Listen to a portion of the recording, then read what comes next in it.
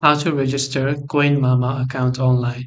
In order to create or register a CoinMama account, simply open up your browser and go to coinmama.com. Then from here, you can just select the sign up option from the top right hand side of the screen.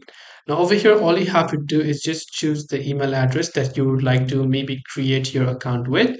And once done, you can just choose it to send you emails or you can select I'm not a robot captcha, then click on create my account. Then once you've done that on the next page, it will ask you to enter the code that was sent to that email. So for verification, go to that email there and just copy and paste the code that you have received right over here. And once you have done that, you'll be able to see this interface right here, right? So let us just wait and now you can see it will ask us to okay, let's get started and so on and then obviously you can just click on the continue button if you want to and depending upon how you want to pay it you can just select that and then you'll be able to pay it as well. This way you'll be able to go ahead and then basically create your CoinMama account. I hope that this video helped you. If you have any questions feel free to leave them down below. Thank you for watching till the very end and as always see you soon in our next video.